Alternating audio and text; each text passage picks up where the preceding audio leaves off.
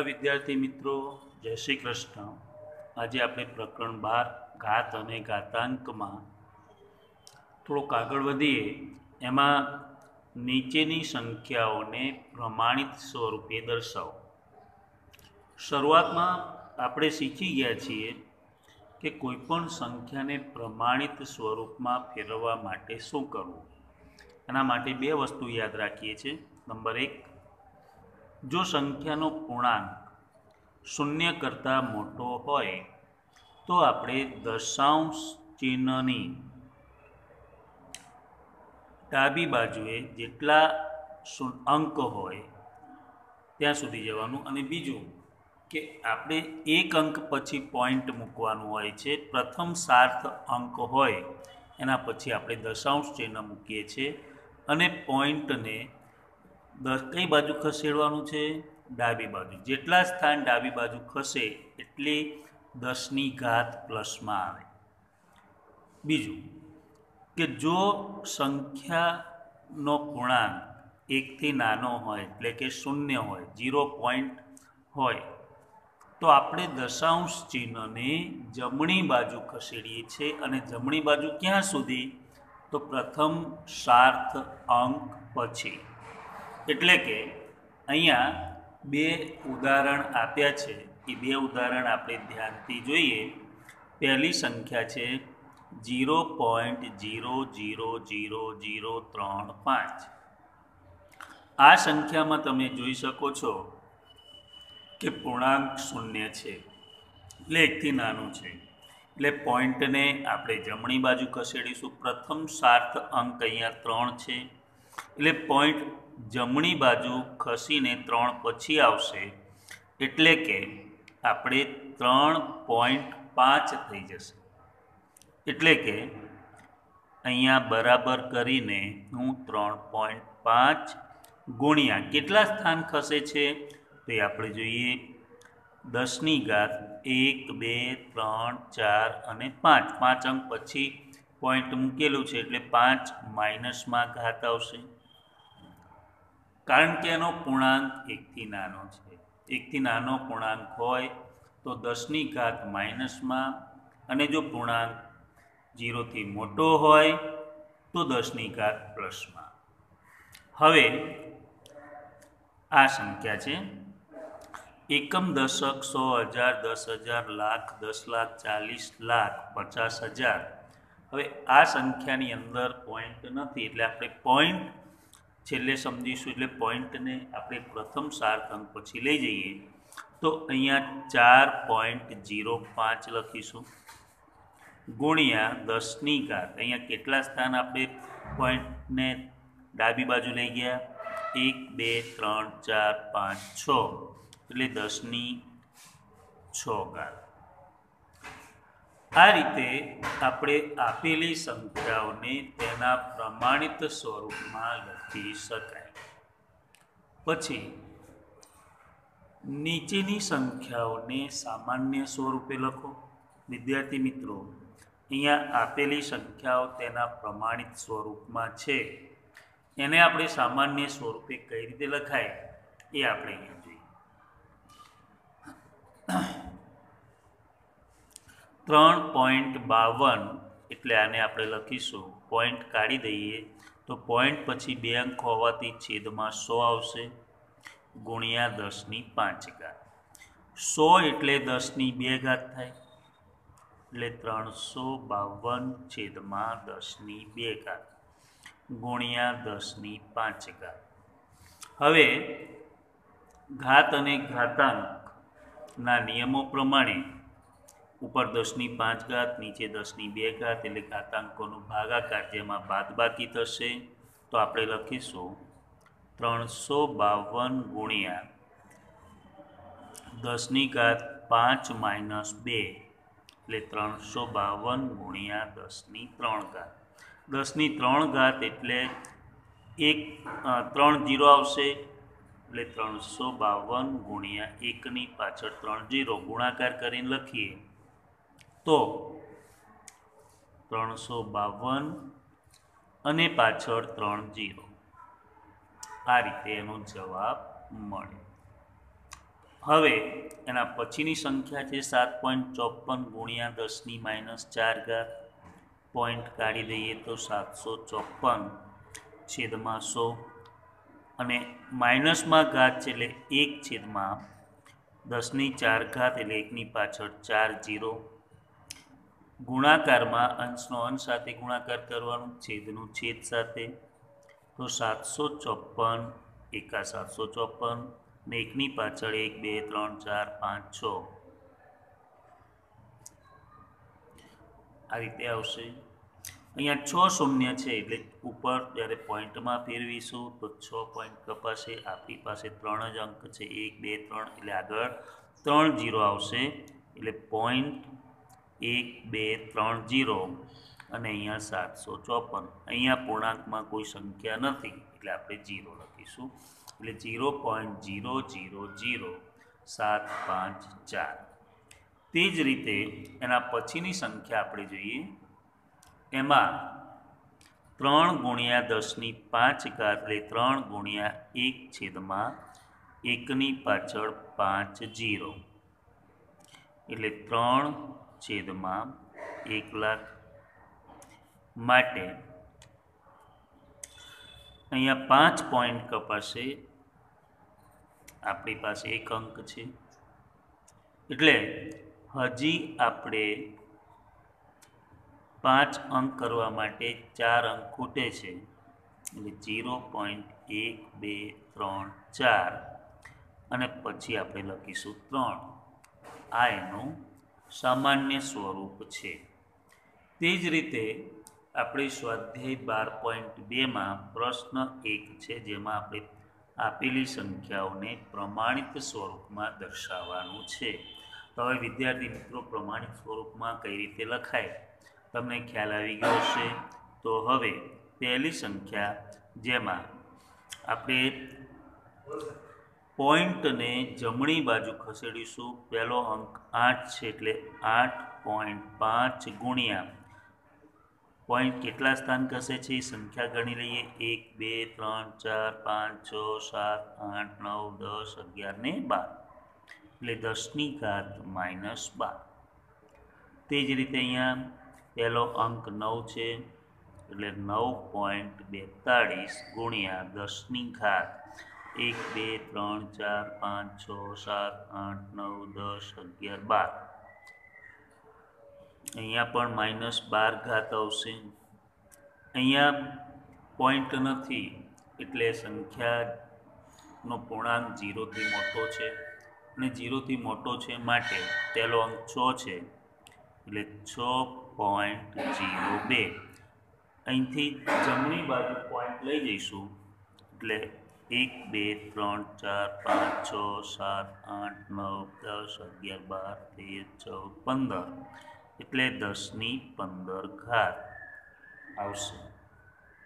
ચોથામાં સંખ્યાનો પૂર્ણાંક જીરો છે, એટલે ઘાત માઇનસમાં આવશે. પહેલો અંક આઠ છે, એટલે આઠ પોઈન્ટ સાડત્રીસ ગુણ્યા દસની ઘાત. એક, બે, ત્રણ, ચાર, પાંચ, છ, સાત, આઠ, નવ. એટલે દસની માઇનસ નવ કાર. હવે પાંચમો દાખલો જોઈએ. એમાં પોઈન્ટ નથી, સંખ્યા પૂર્ણાંકમાં છે, એટલે પહેલો અંક ત્રણ લઈએ. તો ત્રણ પોઈન્ટ એકસો છ્યાસી ગુણ્યા દસની ઘાત. એક, બે, ત્રણ, ચાર, પાંચ, છ, સાત, આઠ, નવ ને દસ. એટલે દસની દસ ઘાત. આ રીતે સંખ્યાઓને તેના પ્રમાણિત સ્વરૂપમાં લખીએ છીએ. પ્રશ્ન બે, નીચેની સંખ્યાઓને તેમના સામાન્ય સ્વરૂપે લખો. તો હવે પહેલાં આપણે સંખ્યામાંથી પોઈન્ટ કાઢવાનું, એટલે ત્રણસો બે છેદમાં સો ગુણ્યા એક છેદમાં દસની માઇનસ છ ઘાત છે, એટલે એકની પાછળ છ શૂન્ય. તો આ થઈ જશે ત્રણસો બે છેદમાં છ શૂન્ય અને બે એટલે આઠ શૂન્ય એકની પાછળ. હવે પોઈન્ટ કાઢીએ પોઈન્ટ મૂકવાનું છે. તો આઠ શૂન્ય, આઠ પોઈન્ટ કપાશે, આપણી પાસે ત્રણ અંક છે, એટલે બીજા આગળ પાંચ શૂન્ય મૂકવા પડશે, ત્યારે પાંચ વત્તા ત્રણ આઠ થાય. તો જીરો પોઈન્ટ એક બે ત્રણ ચાર પાંચ ત્રણસો બે. બીજા દાખલામાં પિસ્તાળીસ છેદમાં દસ અને અહીંયા દસની ચાર ઘાત એટલે એકની પાછળ ચાર જીરો એક જીરો ઉડી જશે. પિસ્તાળીસ ગુણ્યા એક હજાર એટલે પિસ્તાળીસની પાછળ ત્રણ જીરો પિસ્તાળીસ હજાર જવાબ આવે. પછી આપણે ત્રીજો દાખલો ત્રણ ગુણ્યા દસની માઇનસ આઠ ઘાત ત્રણ ગુણ્યા એક છેદમાં એકની પાછળ આઠ જીરો. એટલે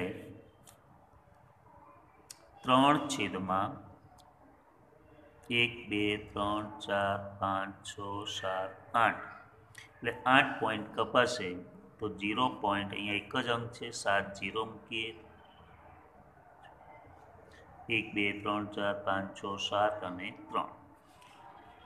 હવે આ બાકીના ત્રણ દાખલાનો મહાવરો આપણે જાતે કરીશું. પછી નીચે આપેલા વિધાનોમાં દર્શાવેલ સંખ્યાને તેમના પ્રમાણિત સ્વરૂપે લખો. એમાં પહેલી રકમ છે એક માઇક્રોન બરાબર એક છેદમાં અહીંયા શૂન્યની સંખ્યા ગણીએ તો છ છે એટલે દસ લાખ મીટર થાય. આ દાખલામાં આપણે સૌથી પહેલાં અહીંયા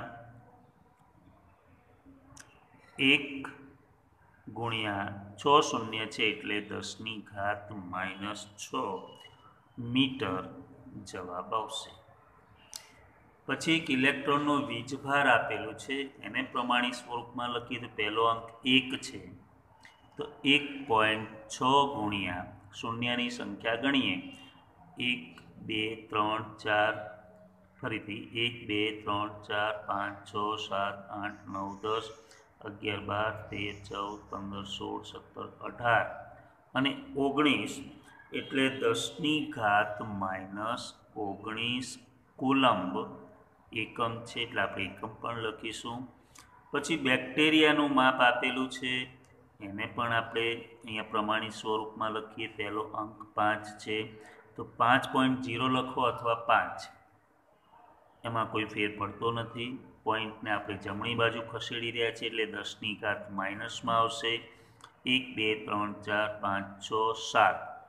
પાંચ ગુણ્યા દસની માઇનસ સાત ઘાત મીટર. વનસ્પતિ કોષનું માપ આપેલું છે, તો અહીંયા પણ પૂર્ણાંક જીરો છે, તો પહેલો અંક એક. એટલે એક પોઈન્ટ બસો પંચોતેર ગુણ્યા પોઈન્ટ જમણી બાજુ ખસેડીએ તો એક, બે, ત્રણ, ચાર, પાંચ. પાંચ સ્થાન ખસે છે એટલે દસની માઇનસ પાંચ ઘાત મીટર એનો જવાબ આવશે.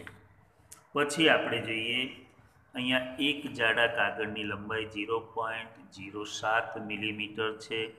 તો સાત ગુણ્યા દસની ઘાત માઇનસ બે મિલીમીટર. આ રીતે આનું પ્રમાણિત સ્વરૂપ મળે. હવે પ્રશ્ન ચાર. એક થપ્પીમાં વીસ મિલીમીટર જાડાઈ હોય તેવી પાંચ ચોપડી અને ઝીરો પોઈન્ટ ઝીરો સોળ મિલીમીટર જાડાઈના પાંચ કાગળ ગોઠવેલા છે. તો થપ્પીની કુલ ઊંચાઈ શોધો. હવે અહીં આપણે એક ચોપડીની જાડાઈ ઝીરો પોઈન્ટ ઝીરો સોળ છે અને આવી આવા પાંચ કાગળ છે. પછી અહીંયા વીસ મિલીમીટર જાડાઈની પાંચ ચોપડી છે. તો આપણે અહીંયા લખીશું એક કાગળની જાડાઈ. સોરી એક તપ્પીમાં પાંચ ચોપડી, એટલે એક ચોપડીની જાડાઈ.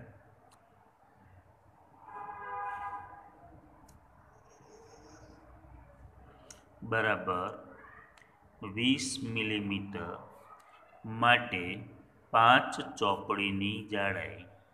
વીસ ગુણ્યા પાંચ એટલે સો મિલીમીટર. તેમજ એક કાગળની જાડાઈ જીરો પોઈન્ટ જીરો સોળ મિલીમીટર છે. માટે આવા પાંચ કાગળની જાડાઈ જીરો પોઈન્ટ જીરો સોળ ગુણ્યા પાંચ સોળ પંચા એંસી. આગળ જીરો જીરો પોઈન્ટ જીરો એંસી. આને આપણે જીરો પોઈન્ટ જીરો આઠ મિલીમીટર લખી શકાય. તો હવે કુલ જાડાઈ, કુલ જાડાઈમાં સો millimetre plus zero point zero આઠ મિલીમીટર આ બંનેનો સરવાળો કરીએ તો સો પોઈન્ટ જીરો આઠ મિલીમીટર થાય. હવે જો આને આપણે પ્રમાણિત સ્વરૂપમાં લખીએ તો પોઈન્ટ કાઢી દઈએ. તો છેદમાં સો આવશે? તો હવે આપણે છેદમાં સો આવ્યા હવે સો એટલે દસની બે ઘાત લખાય. દસની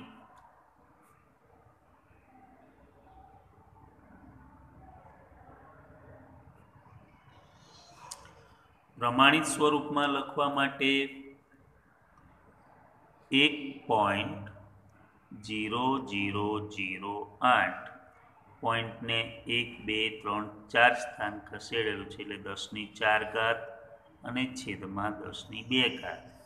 ભાગાકાર કરીએ તો એક પોઈન્ટ જીરો જીરો જીરો આઠ ગુણ્યા દસની ઘાત ચાર માઇનસ બે.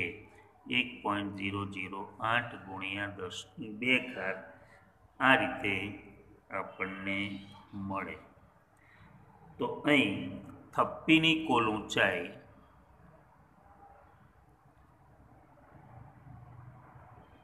આપણને મળે તો વિદ્યાર્થી મિત્રો, આજે આપણે જે દાખલા ગણાવેલા છે, એ આપણે નોટમાં ફરીથી લખવાનું છે. તો અહીંયા આજનું હોમવર્ક